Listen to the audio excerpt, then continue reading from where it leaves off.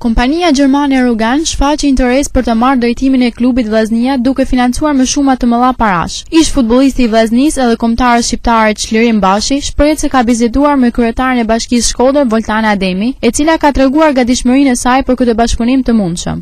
Dëshira e saj ishte edhe ajo që Vllazninë ta japin në një dorë të saktë, si thonë, ose edhe Gjermani është shumë shumë i i sinqertë, si thonë, edhe është normal një gja me rëndësi se bahet kjo punë, domethënë. Ne folëm për ta detajet se, se si e tek, domethënë, me dit gjithë si ka qejf bashkia, domethënë, me bashkëpunu me një privat që e merr, domethënë.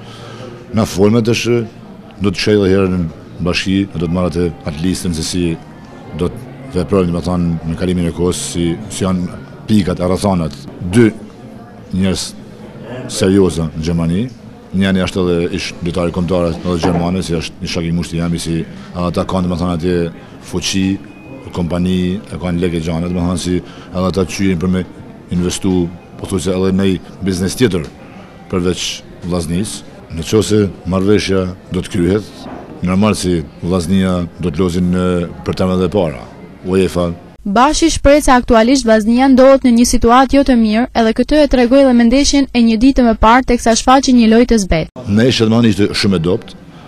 E kam thënë edhe dje me shoqninë aty të kishim kanë edhe na katërëdhjetë pesëdhjetë vjeçët një herë Do ta gjushim portën si thonë, parasysh. Loja dje, jo unë si ish futbolist, por çdo edhe sportdashës, edhe tifoz si ka fije haber për për futbollin, ndeshja ishte shumë e dobët. Tashmë, kompania gjermane i shtohet kompanive apo personave të interesuar deri në këtë moment për të marrë Vllazninë. Pavarësisht këtyre bisedave, deri tani ende nuk ka asgjë konkrete dhe situata te kuqeblutë vijon të jetë e vështirë.